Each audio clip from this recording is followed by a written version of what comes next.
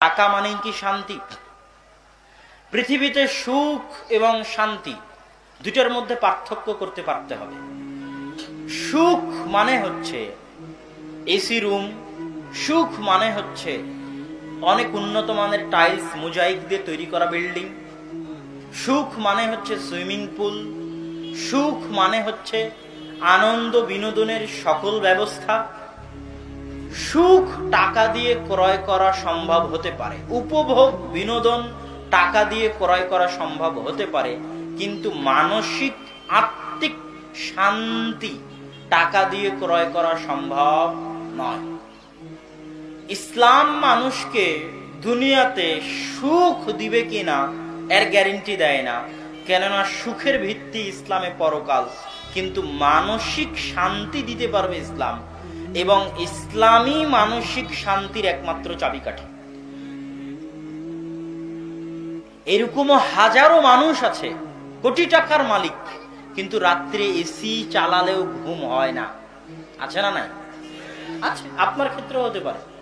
আপনার ছেলে মেয়ে আপনার কথা শোনে না, আপনার স্ত্রী কোথায় অন্য কারোর সাথে পরকিয়া করে, আপনি কোথায় কার সাথে সম্পর্কে লিপ্ত থাকেন? পরিবারে কোনোদিন একত্রিত হওয়া হয় না, এক টেবিলে খেতে বসা হয় না, বাপ ছেলের মধ্যে সম্মানের সম্পর্ক নাই ভারাত্মের সম্পর্ক নাই, ব্যক্তিত্বের সম্পর্ক নাই, টাকা স্বার্থের সম্পর্ক, স্ত্রীর সাথে স্বার্থের সম্পর্ক, ছেলে মেয়ের সাথে স্বার্থের সম্পর্ক। অথচ পরিবার সবই ঠিক আছে, টাকা পয়সা ব্যাংক ব্যালেন্স সব আছে, গাড়ি বাড়ি সব আছে। ওই বাড়ি থেকে কি উধাও বলেন তো। শান্তি উধাও। এই শান্তিকে টাকা দিয়ে ক্রয় করা সম্ভব? সম্ভব নয়। অথচ দেখবেন দিনাজপুর, রংপুরের কোন বুড়া মানুষ সকালবেলা পান্তা দিয়ে ভাত খেয়েছে, রাত্রেবেলা পান্তার কাঁচামরিচ দিয়ে ভাত খেয়েছে, রাত্রে আরামসে ঘুমাচ্ছে। ওর পরিবারে কি আছে? শান্তি আছে। তাহলে শান্তির মূল্য মানুষকে বুঝতে হবে যে মানসিক শান্তি, আপনারা ছোটবেলায় একটা গল্প জানেন, অনেকেই জানেন, যে একজনের বাড়িতে অনেক টাকা জমা রাখতে এসেছে। তো অত বেশি টাকার কারণে তার রাত্রেবেলা কি হয়নি? ঘুম হয়নি। তখন পরের দিন টাকাটা ফেরত দিয়ে এসেছে যে, এই টাকা আমার কাছে রাখা সম্ভব নয়। কেন, এই টাকার কারণে আমার মাথায় যে টেনশন আছে টেনশন আমি বহন করতে পারব না। তাহলে এখানে আমি আপনাদেরকে প্রথম যেটা বুঝাতে চাচ্ছি, সেটা হচ্ছে শান্তি এবং সুখের মধ্যে পার্থক্য আছে এবং আমাদের চেষ্টা করতে হবে যেন আমরা শান্তি অর্জন করতে পারি। আর এই শান্তি ইসলাম দিতে পারে। ইসলাম মানি শান্তি। ইসলাম শব্দটাও এসেছে সিল শান্তি থেকে। তো এই মানসিক শান্তি অর্জন করার চেষ্টা করতে হবে, এটা হচ্ছে সবচেয়ে বড় সফলতা। তারপরের পয়েন্ট কে বোকা আর কে বুদ্ধিমান? একটা যুবক পঞ্চাশ হাজার টাকার একটা চাকরি পেয়েছে ব্যাংকে তখন সে বলতেছে, এই ব্যাংক সুদি ব্যাংক আমি চাকরি করব না। গেল একটা পয়েন্ট একটা যুবক অনেক উন্নত মানের কোম্পানি হালাল কোম্পানিতে চাকরি পেয়েছে কোম্পানি বলছে তোমাকে দাড়ি কাটতে হবে। না হলে তোমার চাকরি হবে না। তখন যুবক বলছে যে, আমি দাড়ি কাটবো না, তবুও চাকরি করব না। তো এই যুবককে, যে যুবক পঞ্চাশ হাজার টাকার বেতনের চাকরি ছেড়ে দিল সুদি ব্যাংক হওয়ার কারণে, আর লাখ টাকার চাকরি ছেড়ে দিল দাড়ি কাটার শর্ত থাকার কারণে, সমাজ তাকে বলবে যে, সে বোকা। কত পাগল গো, চাকরি ছেড়ে দিল।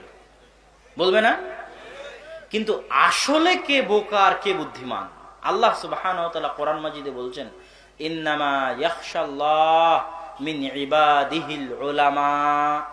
আল্লাহ তাআলাকে ভয় করে, তাকওয়া পরহেজগারিতা অবলম্বন করে, যার মাথায় কিছু ঘেলু আছে, যার বুদ্ধি আছে, যার বিবেক আছে, যে চালাক, যে জ্ঞানী, যে পণ্ডিত সেই আল্লাহ সুবহানাহু ভয় করে।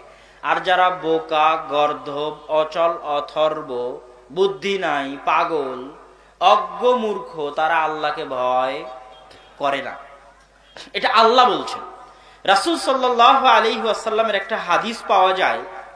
হাদিসটা সূত্রগতভাবে জয়ীফ হতে পারে, কিন্তু কথা সঠিক। এই জন্য আমরা আল্লাহ রাসুলের নামে না বললেও স্বাভাবিক কথা হিসেবে বলতে পারি যে আল কাইয়েসুমান্দানাফসাহ বুদ্ধিমান সেই যে আত্মসমালোচনা করে এবং মৃত্যুর পরে কি ঘটবে তা নিয়ে চিন্তা করে।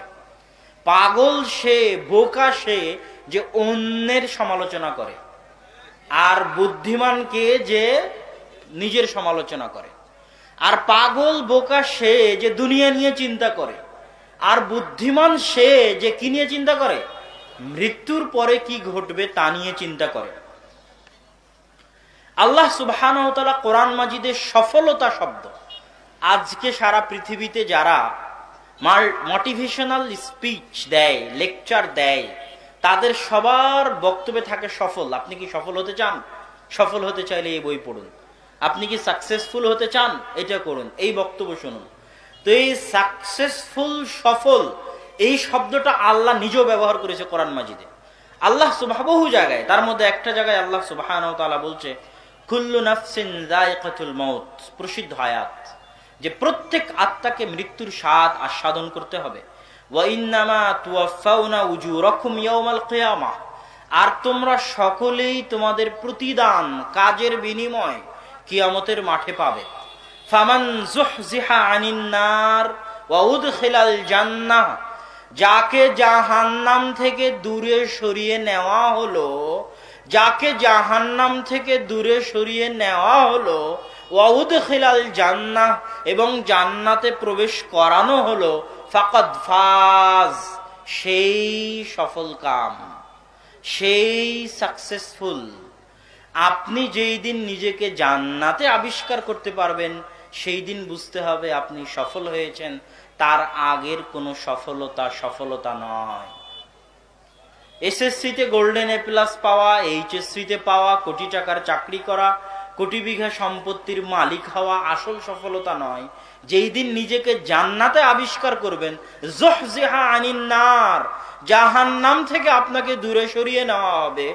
ওউদ খেলাল জান্না আপনাকে জান্নাতে প্রবেশ করানো হবে। সেই দিন আপনি প্রকৃত সফল।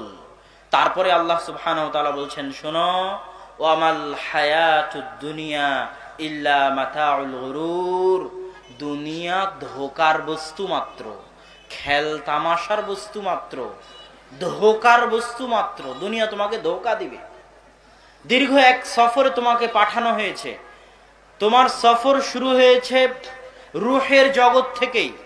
রুহের জগৎ থেকে শুরু হওয়া এই সফর, সফরের মাঝের সামান্যতম সময় এই দুনিয়া।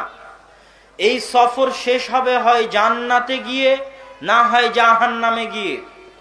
জান্নাতে এবং জাহান নামে গিয়ে সফর শেষ হওয়ার পূর্ব পর্যন্ত মানুষের মনোযোগ দূরে সরিয়ে নেওয়ার, মানুষের টার্গেট বা লক্ষ্যকে বিচ্ছিন্ন করার একটা ধোকার বস্তু হচ্ছে দুনিয়া। আবার বুঝেন। রুহের জগৎ থেকে আপনার সফর শুরু হয়েছে। সফর শেষ হবে হয় জান্নাতে, না হয় জাহান নামে কোথায় বলেন তো? জান্নাতে, না হয় জাহান নামে এই যে মাঝখানের স্টেশন এই স্টেশনগুলোতে ধোকার বস্তু, আপনার লক্ষ্য টার্গেট থেকে আপনাকে ভুলিয়ে দিবে। যে আপনার সফর শুরু হয়েছে, আপনার টার্গেট হয় জান্নাতে যাবেন, না হয় জাহান নামে যাবেন। এটা আপনার টার্গেট ওই দিকে আপনি দৌড়াবেন। মাঝখানের এই স্টেশনগুলোতে আপনার টার্গেটকে ভুলিয়ে দেওয়ার জন্য ধোকার বস্তু কি? দুনিয়া। ধোকার বস্তু কি? দুনিয়া। সম্মানিত উপস্থিতি, তো বুদ্ধিমান এবং বোকার যে সঙ্গে আমরা নির্ধারণ করলাম সেটা আরেকটু খুলে বলি। একটু যুক্তি তর্কের আলোকে খুলে বলি, যুক্তি তর্ক। কেননা একদল মানুষ আছে যারা পরকালকে অস্বীকার করে, আছে না নাই? আছে।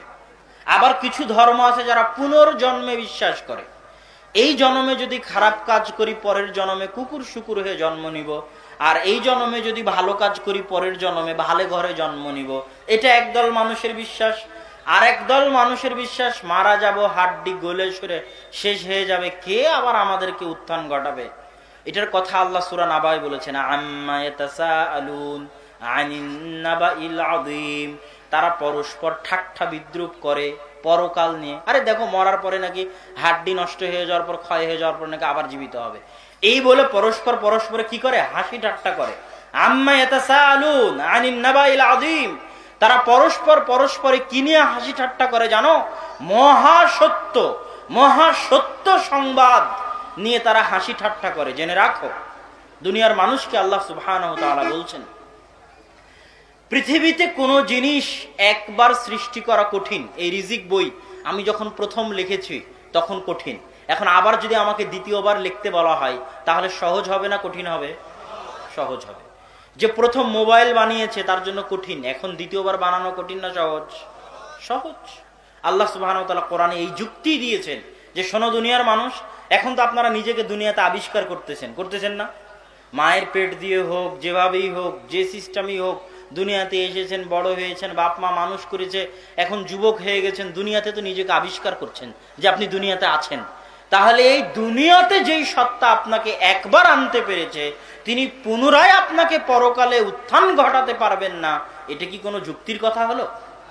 বরং দুনিয়াতে আনা যদি একবার তার জন্য হয়ে থাকে, পরকালে আপনাকে দ্বিতীয়বার আনা তার জন্য অনেক সহজ।